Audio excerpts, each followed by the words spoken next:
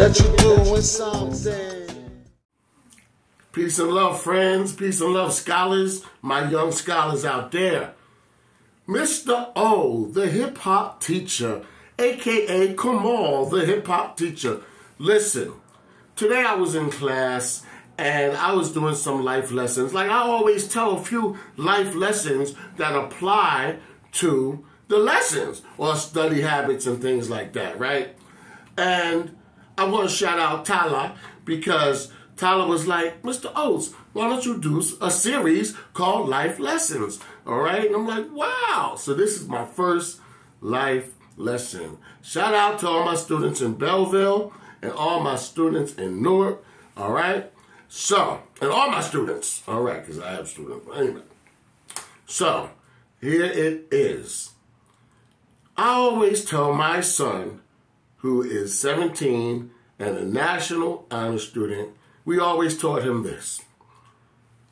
If you can take, this is about focus, focus and concentration.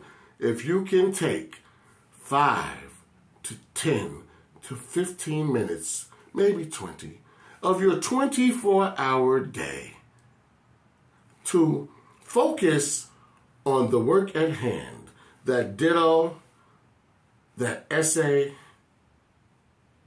studying 20 minutes, up to 20 minutes, uninterrupted, you'll probably knock it out and have time for other things, or knock most of it out or bring forth an understanding of what it is instead of being distracted and distracting yourself by saying, uh, I got to sharpen my pencil. Oh, I need a pencil. Oh, she's making faces at me. Oh, he hit me. Can I go to the bathroom? Can I get water? Can I get something out of my coat? Can I charge my laptop? You're getting nothing done. Now, the people that are working diligently, they might knock it out in five minutes, 10 minutes, 25 minutes, 30 minutes. What you are taking all day long to do, and it's becoming stress. And by the time you get to it, it's stress and duress because now you're up against the clock, or you're not doing it right, or you're rushing it, and it's not going to come out. Hey, you're not going to be seen or known or know yourself as an A plus scholar. So remember, you have 24 hours in a day. You're probably awake 12, 13, 14, 15, 16 hours. So take, oh my God, if you took one hour out of the day to really focus, you'd be a genius. If you took two hours, you'd be a multi genius in today's society. So put away the distractions, your friends, you want to play. You don't come to school to play. There's some fun in school, but you come to school to learn and to get good A's, maybe B's, but definitely A's, so that you can take that history, that transcript, and go wherever you want, whether it's college, trade school, computer school, a nice job, you can show those transcripts in your future and you will know how to articulate any subject.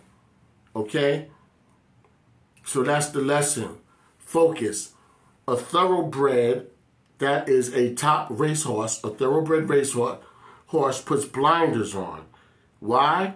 So they don't have to see the horse over here falling the horse outrunning them or catching up to them or the horse over here. They're focused on the finish line. Focus on the finish line. Work before you play. Success equals work before you play. You play later because you're celebrating the achievements of your day and your achievements, period. You can be relieved and enjoy yourself leisurely. Okay? All right, life lesson number one, Mr. O in the building. Uh, all right, see y'all later. Take that with you. Put it in, lock it up. Click, click. All right, peace.